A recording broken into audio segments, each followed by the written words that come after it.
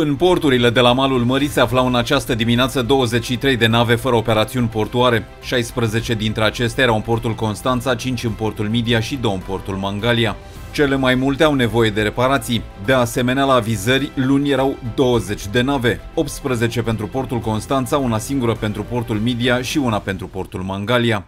Potrivit buletinului informativ al Companiei Naționale Administrația Porturilor Maritime, pe 27 martie 40 de nave erau sub operare. 38 se aflau în portul Constanța, două în portul Midia și una în portul Mangalia. Acestea aveau de încărcat sau descărcat în mare parte fier vechi, containere, cereale, îngrășăminte sau laminate. În rada portului Constanța se aflau luni dimineață 20 de nave. Dintre acestea, 15 așteptau pentru operare, iar 5 nu aveau operațiuni portoare. În ceea ce privește traficul fluvial, în portul Constanța se aflau 43 de remorchiere și împingătoare de linie. Vorbim de 16 nave străine și 27 de nave românești.